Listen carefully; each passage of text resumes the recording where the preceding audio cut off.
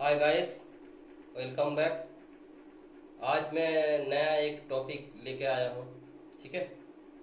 ये देखिए, मेरे पास आया हुआ है। ये इन्वर्टर एसी का बोर्ड है। और ये इसका क्या क्या सिस्टम है और ये कैसा चलता है और इसका कनेक्शन कैसा है, मैं आपका फुल प्रोसेस आप लोगों को दिखाएँगे। और ये कैसा कैसे कैसे कैसे रिपेयर होता है, मैं आप लोगों को पूरा जानकारी देंगे इस वीडियो में। वीडियो देखते रहिएगा दोस्तों, और मेरा चैनल को आप लोग सब्सक्राइब ज़रूर कर लीजिएगा नेक्स्ट वीडियो के लिए। ओके दोस्तों, देखिए, ये बोर्ड जो है, ये इन इंडोर यूनिट का बोर्ड है, ठीक है? और ये जो मोटर है, ये स्विंग मोटर है और यहाँ पर लगा हुआ है, देखिए डिस्प्ले सेंसर और एलईडी इंडिकेटर है, ठीक है? और ये जो मोटर है, ये मोटर एसी में चलता है। इस बोर्ड में कनेक्शन होता है इंडोर बोर्ड में इंडोर पीसीबी में, और ये मोटर है एसी बोर्ड में चलता है, ठीक है? ये मोटर ब्लोअर मोटर है, इसको ब्लोअर फ़ैन मोटर बोलता है, ठीक है? दोस्तों, ये तो हो गया इंडोर यूनिट का वो पीसीबी और इधर है जो ये वाला जो पीसीबी है, ये आउटडोर यूनिट का पीसीबी है। आउटडोर यूनिट का पीसीबी में ये ऐसा वाला सर्किट रहता है, और इसमें जो ये वाला जो मोटर है, ये डीसी मोटर है। ये डीसी कंडेंसर मोटर है, ठीक है? इसमें, ये आउटडोर में फिटिंग्स होता है। ठीक है? कंप्रेसर के पास, है? और इसका जो आउटडोर का यूनिट का जो पीसीबी है, मैं आप लोगों को बारी बारी बोल देंगे। और इसका जो फॉल्ट था, मैं आप लोगों को बोलेंगे, क्या फॉल्ट था, मैंने क्या चेंज किया, कैसे रिपेयर किया पूरा मैं दिखाएँगे और बोलेंगे ओके दोस्तों पहले तो आप लोग देख सकते हैं, मैं आप लोगों को दिखा दूँ, एक बार कनेक्शन आप लोगों को दिखा दूँ। जो इधर जो एन लिखा हुआ है एन वन लिखा हुआ है, ये तो एन का मतलब न्यूट्रल लगा हुआ है, और इसमें वन जो है, ये फ़ेज़ और ये जो टू का कनेक्शन है, ये टू कनेक्ट टू वाला जो कनेक्शन है, इधर रेड कनेक्शन आता है इस मदरबोर्ड से कनेक्शन आता है जो ऑन सिग्नल आता है। जैसे कि ये दोनों दोनों मेन और न्यूट्रल और फ़ेज़ इस बोर्ड में जाता है इंडोर पीसीबी में। इंडोर पीसीबी में जाता है ये दो कनेक्शन और कनेक्शन जाने के बाद ये एसएमपीएस चालू होता है। इस एसएमपीएस से बनता है एक, एक वोल्टेज जो यहाँ पर आउटपुट होता है। और इस बोर्ड में ये जो प्रोसेसर है, ये प्रोसेसर पूरा बोर्ड को, पूरा पीसीबी को कंट्रोल करता है, ठीक है? और यहाँ पर जो सेट ऑन होता है, तब ये रेड वायर से इधर आता है ऑन सिग्नल ऑन सिग्नल यहाँ पर आता है दो नंबर का कनेक्शन फिर ये वाला यहाँ पर दो नंबर का यहाँ पर कनेक्शन हो जाता है। ये रेड वायर इधर पे आ गया। इस मदरबोर्ड पे एक प्रोसेसर है। ये जब ऑन होगा, ये मदरबोर्ड ये मदरबोर्ड जब ऑन होगा प्रोसेसर ऑन करेगा, तब ये मदरबोर्ड सिस्टम को ऑन करेगा। ठीक है? पर जो एन और वन लिखा हुआ है, ये एन इधर से, यहाँ पर दिखाओ। एन यहाँ से न्यूट्रल आ गया, यहाँ पर, इधर दिखाओ न्यूट्रल आ गया, और इधर वन जो लिखा हुआ है, ये वन के साथ वन कनेक्शन होगा, ठीक है, ये फ़ेज़ के साथ फ़ेज़ कनेक्शन होगा, और न्यूट्रल के साथ न्यूट्रल कनेक्शन होगा, और ये हो गया आपका ऑन सिग्नल ओके ठीक है, और इधर का जो लाइन है कनेक्शन है, आप लोगों को दिखा दूँ एक बार, ये जो कनेक्शन है, ये कॉम्प्रेसर का कनेक्शन है, ठीक है जो इन्वर्टर एसी में लगता है डीसी कॉम्प्रेसर ओके ये थ्री फ़ेज़ का लाइन है। डीसी आउटपुट वोल्टेज होता है। अभी कैसा बनता है वोल्टेज कैसा आउटपुट होता है, मैं आपको दिखाऊँगे। इस यूनिट के बारे में इसको ओपन करके दिखाएँगे कि क्या क्या क्या है कंपोनेंट क्या क्या है, इसका काम क्या है। ठीक है, मैं दिखाऊँगी ओके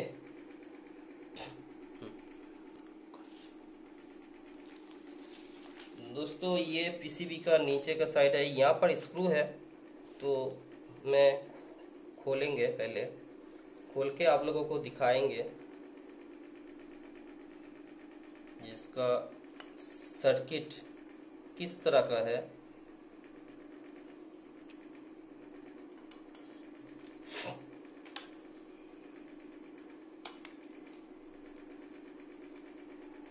वीडियो अच्छा लगे तो लाइक दीजिएगा दोस्तों। और ये काम को भी बहुत ही आसान है। आप लोग कर सकती है।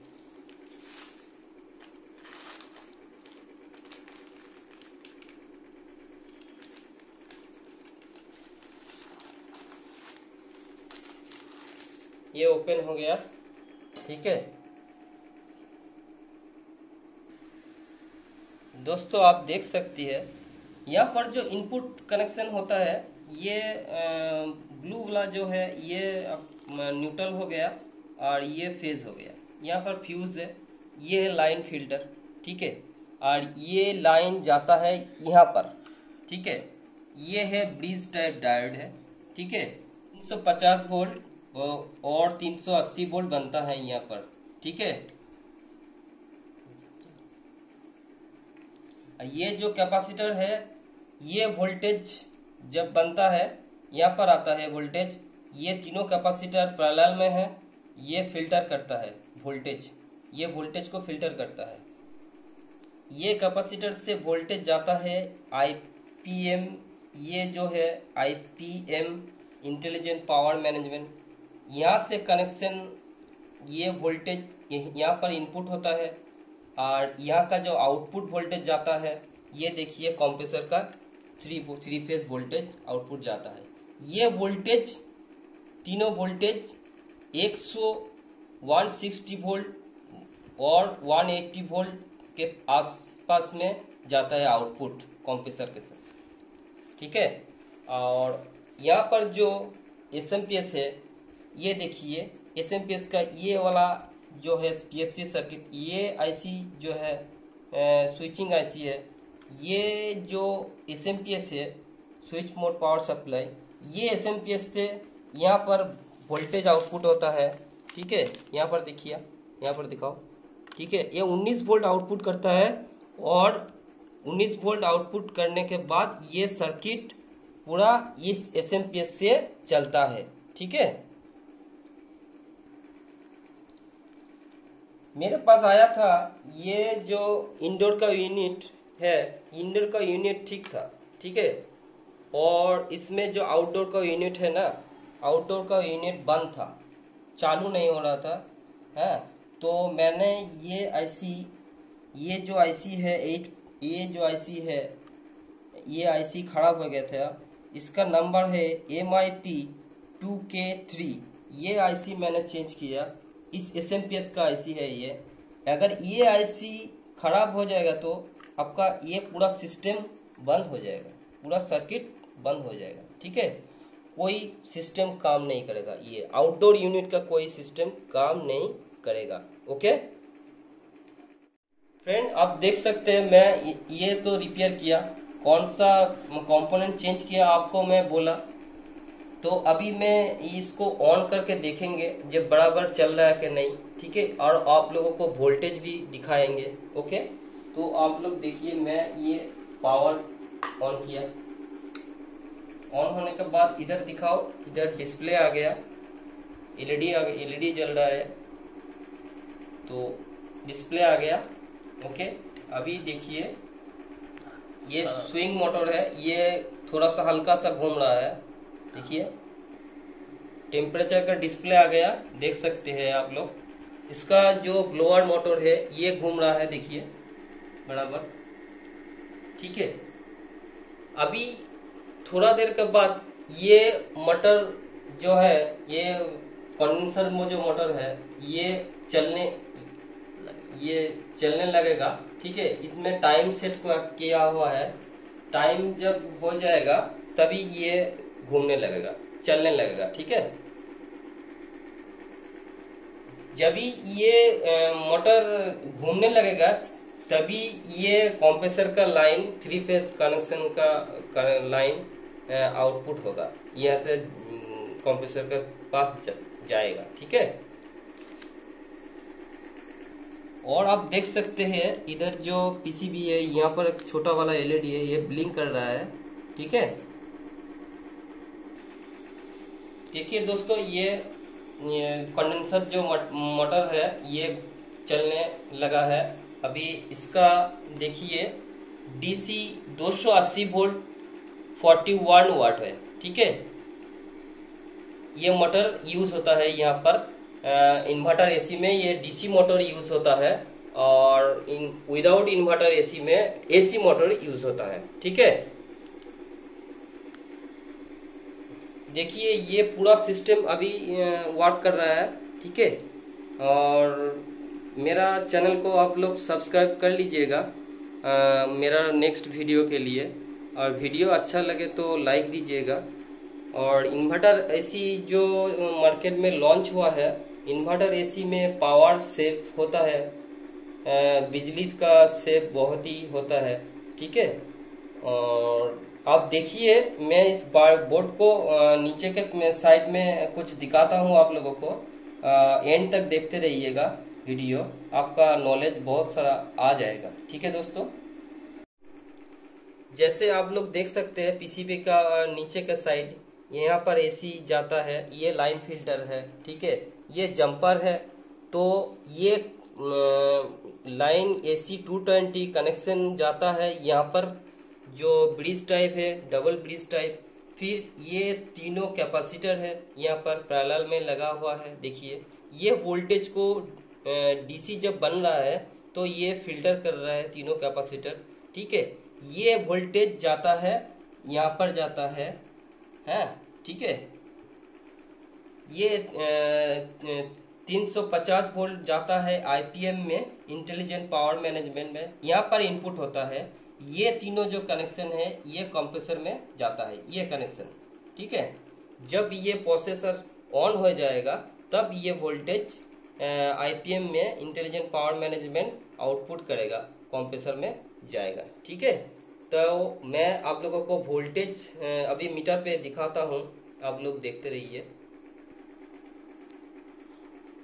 जैसे कि आप लोग देख सकते हैं, मैं इधर डीसी रेंज में रखा है। मीटर और यहाँ पर वोल्टेज देख लेंगे कितना वोल्ट है। जैसे कि आप लोग देख सकते हैं, यहाँ पर 297 वोल्टेज कं आ रहा है, ठीक है? तो ये वोल्टेज जो यहाँ पर जाता है आईपी एम में इंटेलिजेंट पावर मैनेजमेंट में, यहाँ पर इनपुट होता है और यहाँ पर आउटपुट होता है ये तीनों लाइन मैं आप लोगों को दिखाएँगे आउटपुट और ये जो एस एम है, ये एस एम तो जैसे कि मैंने आपको, आप लोगों को बताया ये ये जो एस एम है, यहाँ पर जो सर्किट है, यहाँ से लेके हम्म ये सर्किट में 19 वोल्ट 19 19 वोल्ट का आउटपुट होता है, ये देखिए। एक बार देख लीजिए, ये देखिए सत्रह वोल्ट आ गया हाँ। ठीक है? तो ये वोल्टेज जो बनता है, यहाँ पर एक रेगुलेटर से, ये एक रेगुलेटर है सेवन एट वन फाइव तो ये वोल्टेज लेके, ये देखिए फिफ्टीन वोल्ट देखिए, यहाँ पर एस एम पी एस जो आउटपुट होता है एस एम पी एस का सत्रह वोल्ट आउटपुट होता है। यार, यहाँ पर जो सेवन एट वन फाइव है रेगुलेटर्स यहाँ पर वोल्टेज कितना है, देख लीजिए, पंद्रह वोल्ट का आसपास है, ठीक है? और जो कॉम्प्रेसर का जो आउटपुट होता है, ये आप देख लीजिए। ये बहुत ही इम्पोर्टेंट चीज़ है। ये देख देख लीजिए कितना वोल्ट आउटपुट होता है। दोस्तों, आप लोग देख सकते हैं, जैसे कि आईपीएम में आउटपुट इनपुट लेता है।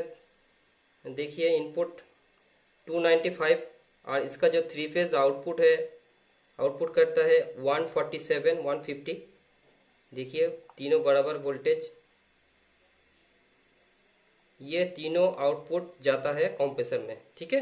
थ्री फ़ेज़ ओके दोस्तों मेरा वीडियो वॉच करने के लिए और मेरा चैनल को सब्सक्राइब ज़रूर कर लीजिएगा और वीडियो अच्छा लगे तो लाइक भी दीजिएगा। और मेरा वीडियो कैसा लगा आप लोग कमेंट बॉक्स में कमेंट भी कीजिएगा ठीक है सर?